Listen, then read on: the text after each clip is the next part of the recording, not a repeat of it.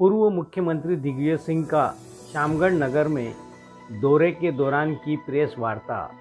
मंदसौर ज़िले के दौरे पर आए पूर्व मुख्यमंत्री दिग्विजय सिंह।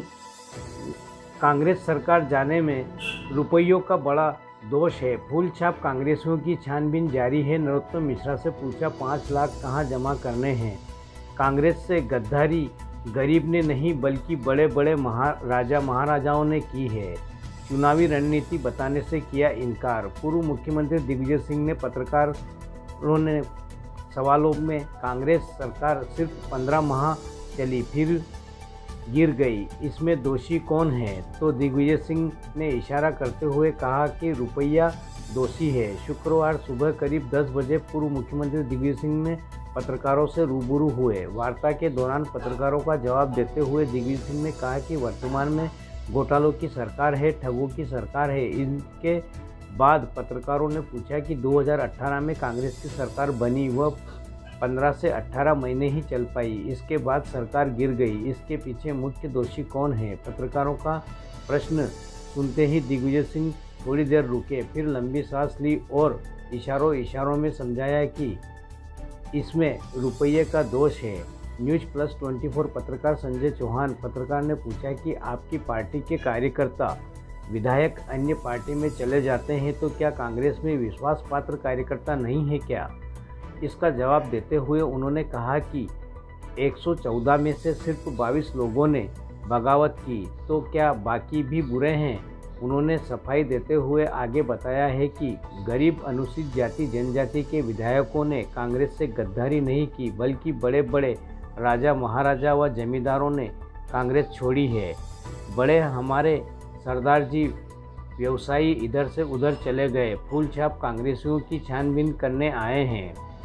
प्रेस वार्ता में दिग्विजय सिंह ने जवाब दिया कि फूल छाप कांग्रेसियों का यह कोई नया चलन नहीं है। बहुत पुराने समय से फूल छाप कांग्रेसी चले आ रहे हैं।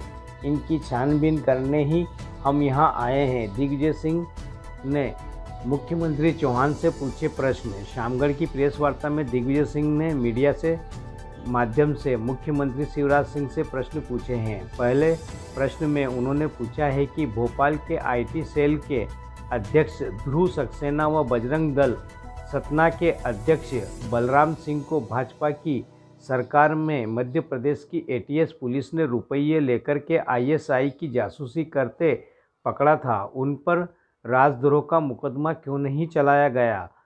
दूसरा प्रश्न पूछा कि दोनों की जमानत होने पर उनके विरुद्ध भाजपाइयों ने सुप्रीम कोर्ट में अपील क्यों नहीं की? इन दोनों प्रश्नों का जवाब शिवराज दे। आगे, दिग्विजय सिंह ने कहा कि मुझ पर शिवराज सिंह आरोप लगाते हैं कि दिग्विजय सिंह देशद्रोही है तो मैं थाने चला गया और कहा कि मैं देशद्रोही हूँ, मुझे गिरफ़्तार करो। तब पुलिस ने हमें लिख कर दिया कि हमने पता लगा लिया है कि पूरे प्रदेश में कहीं भी आपके खिलाफ देशद्रोह का मुकदमा नहीं है। उन्होंने कहा कि एक तरफ़ भाजपा के मंत्री मुझे देशद्रोही कहते हैं, दूसरी ऐसे लोग छोड़ देते हैं जो पाकिस्तानी एजेंसी के पैसे लेकर के उनके लिए काम करते थे। पत्रकारों ने कांग्रेस अध्यक्ष मल्लिका अर्जुन खड़गे के पीएम मोदी वाले बयान पर सवाल पूछा। इस पर दिग्विजय सिंह ने भरी प्रेस वार्ता में जेब से मोबाइल निकाला और गृह मंत्री अमित शाह का वह बयान सुना दिया, जिसमें वह कह रहे हैं कि मोदी जी की जो बाढ़ आई है, वह बाढ़ इस तरह से सांप, नेवला, कुत्ता, बिल्ली सब इकट्ठे होकर के चुनाव लड़ने का काम कर रहे हैं। पत्रकारों से इस बारे में भाजपा व अमित शाह से सवाल पूछते तो अच्छा होता। रणनीति बताने से किया इनकार। पत्रकारों ने पूछा कि जैसा कि आपने बताया कि सिंधिया खेमे के जितने भी विधायक थे, वो बीजेपी से जुड़ कर के अभी सत्ता में हैं। उन लोगों के खिलाफ आंदोलन छेड़ेंगे और रणनीति बनाएँगे तो मंदसौर के सुहासरा विधानसभा के लिए क्या रणनीति रहेगी?